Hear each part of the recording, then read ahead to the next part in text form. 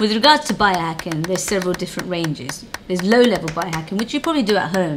So if we step back a little bit, we're probably doing gratitude journaling, meditation, we're looking at sleep hygiene, we might be doing ice baths, we might be doing Wim Hof breathing, diaphragmatic breathing, we might be doing intermittent fasting, we might be wearing health tech wearables such as Whoop and such as Oura Ring. These are all, this is all biohacking and this is low level what you can do at home. So mid-level and advanced biohacking is where you'd come to someone like me for. So we could use modalities such as hyperbaric oxygen chamber, which puts high pressured oxygen at about 90% through your vessels, microcirculation, new vessel formation, feeding the end organs, making them perform better. We can use IV ozone, which is like dialysis of your blood, to turn around and take all the inflammation out.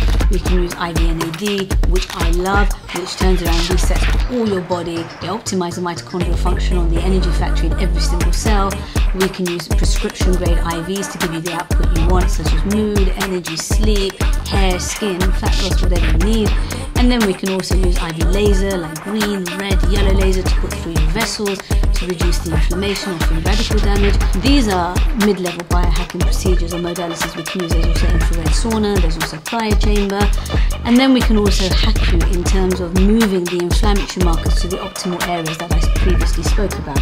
So we can use prescription grade supplements, but I tend to enjoy or like and droppers because you get 90% bioavailability sublingually straight under the tongue.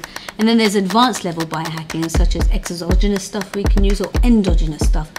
Endogenous things are like medications or hormones or stem cells that we can move the marker in terms of your internal firepower. So we're resetting the fire inside you, getting you to produce the hormones that you weren't producing properly, or getting you to produce the end results that you weren't getting properly, but in a more natural way that you're more comfortable with. Exogenous biohacking is where I can take tools, medications, modalities, where I can turn around and move the needle to an optimal output that you need.